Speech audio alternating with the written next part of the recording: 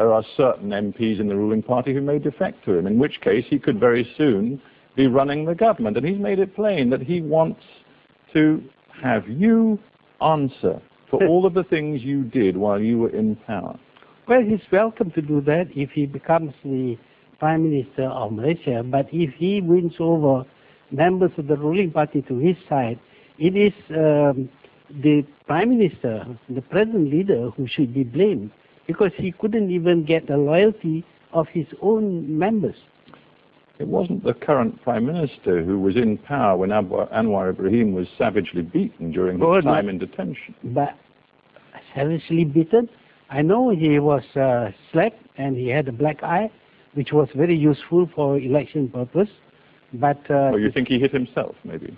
I don't know what happened, but the, poli- the police, uh, the IGP admitted that he assaulted uh, Anwar.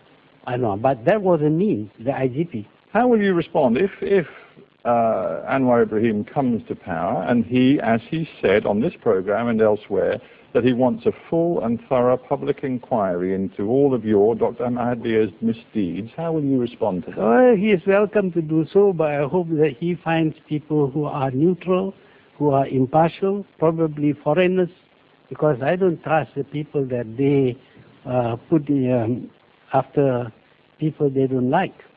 Interesting you say you don't trust people who are currently or maybe in charge of any inquiry.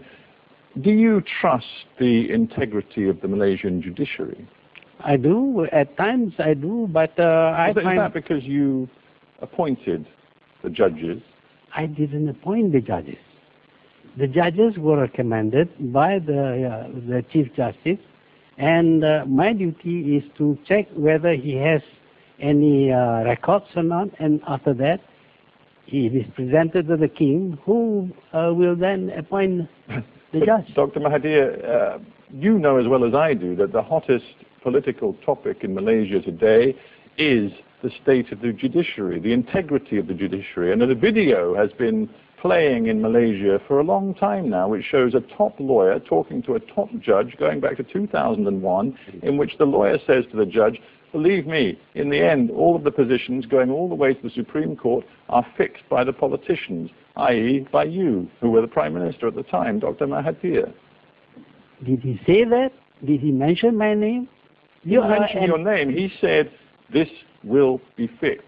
This goes through the political system. Well, you ran the political system. I'm not so sure about that, but the fact is that this man had his video taken because they were intended to to uh, blackmail him.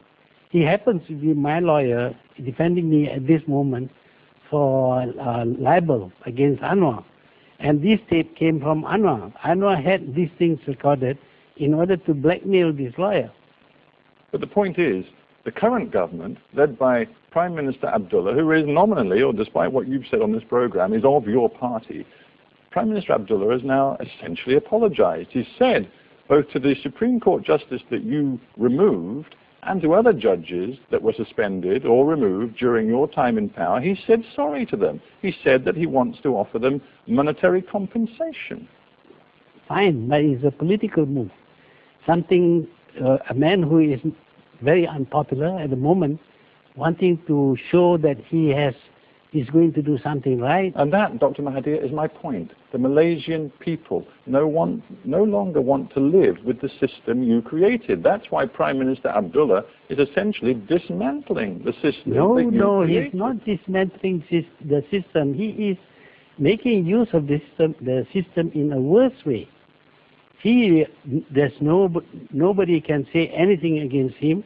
He has newspapers which only reports about him and how great he is, and he was misled by the, the, his own uh, supporters into believing that if he holds the election now, I mean, this is one and a half years before the end of the term, uh, he would win. He would have a clean sweep. If you look at the records, he made uh, statements that he would win the election uh, with uh, zero for the opposition the more I, I listen to you talking about Prime Minister Abdullah, the more I wonder, why did you choose him to be your successor? Well, these people are very smart in hiding their true character. he was known as Mr. Clean, and I thought I would uh, uh, appoint a clean person to succeed me. Although he was not the one with the highest uh, votes uh, in, in my party. But I thought that he was uh, older, and I appointed him thinking that he is not going to do anything very wrong. But this man gives priority to his family rather than to the to the country. So it was a fundamental lack of judgment on your part. Yes, I'll admit that, but we all make mistakes, you know. The British people voted in people like Blair who told lies. So did the Americans. We all- people make mistakes. We all make mistakes, you say. Was it also a mistake for you to define yourself so clearly as anti-Western and anti-democratic in the sense that the West understands democracy? No, that's the problem. I'm not anti-Western. I'm against the bad things that were done by the Western countries. You're not anti-Western, and yet in June 03, before you left office, you said Anglo-Saxon Europeans essentially are proponents, and I'm quoting here, proponents of war, sodomy, and genocide. Which is true.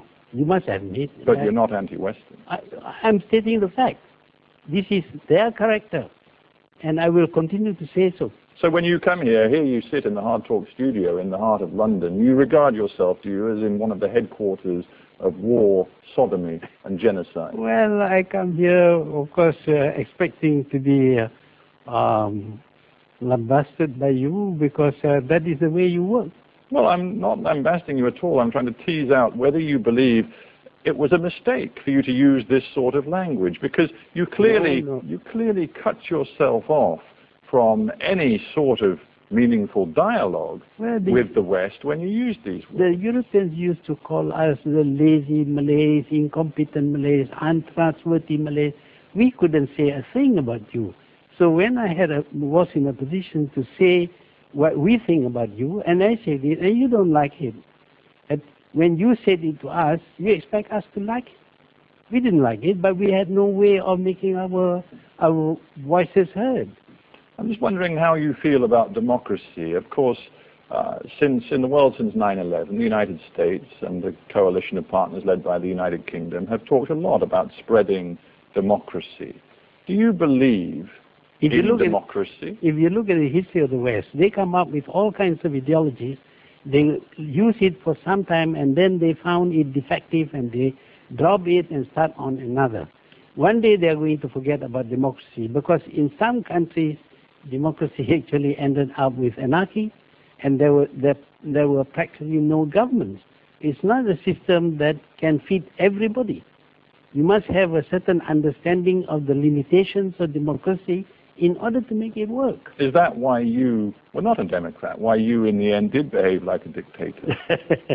well, that is something that the West would like to say about me. I'm a dictator. well, I'm just quoting your own words from 2002. You No, said did I good governance people need. You said feudal kings, even dictators, have provided and can Well, provide that is very true. That is very true. So The why great- why why the great civilizations? Why not just say to me, yes? the great civilizations of the past did not have democracy, and yet they became great. It, it's not necessary that the system uh, will work for everybody. Uh, but if you have a bad leader, even the democratic system would fail. Must, re- you must remember that it is a democratic country which dropped atom bombs, killing 200,000 people.